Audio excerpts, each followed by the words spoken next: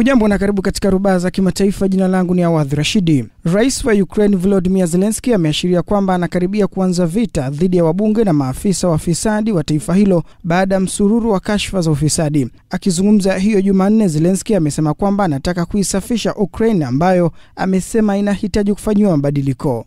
Hii ina maana kwamba wale wanaofanya kazi kwa manufaa yao binafsi, si kwa ajili ya Ukraine, hawatashika nyadhifa za umma au kuwa wabunge wa Ukraine, alisema Zelensky, akiongeza kuwa fisadi yoyote atasimama mahakamani. Rais huyo wa Ukraine amelalama hata zaidi kuwa haijalishi mtu huyo ni nani, iwe ni kamishna wa jeshi, naibu au afisa, kila mtu lazima afanye kazi kwa ajili ya serikali tu.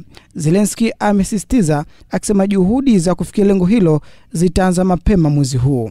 Kwingineko ni kuwa spika wa zamani wa Marekani Nancy Pelosi ameonya kuwa Marekani itapotea kabisa iwapo rais wa zamani Donald Trump atarejea ikulu ya White House. Akizungumza na mwanahabari wa jarida la New York Times, Pelosi amesema hatutakuwa na Marekani tena endapo atakuwa tena raisi, basi biashara ya uhalifu itafanyika katika ikulu ya White House. Na kwingineko ni kuwa jumuiya mashambani kati ya Moscow na St Petersburg imechaguliwa kuwa eneo la kijiji cha Kiafrika kulingana na Africa International Congress nchini Urusi. Mradi huo ni sehemu ya mpango wa majaribio wa miaka mitano wa kuwapokea maelfu ya wahamiaji kutoka Afrika Kusini. Wanadiplomasia wa Kiafrika wameungana na wakilishi wa AAC na maafisa wa serikali za mitaa katika mkoa wa tiver katika hafla ya kuzindua jiwe la msingi la kijiji hicho ambacho kitajengwa karibu na kitongoji cha Porche. Tunapanga kuanzisha makazi 30 nchini Urusi kwa ajili ya Waafrika wanaotaka kuhamia hapa, amesema mkuu wa chuo kikuu cha kimataifa cha Eurasian na mwakilishi mkuu wa IAS nchini Urusi,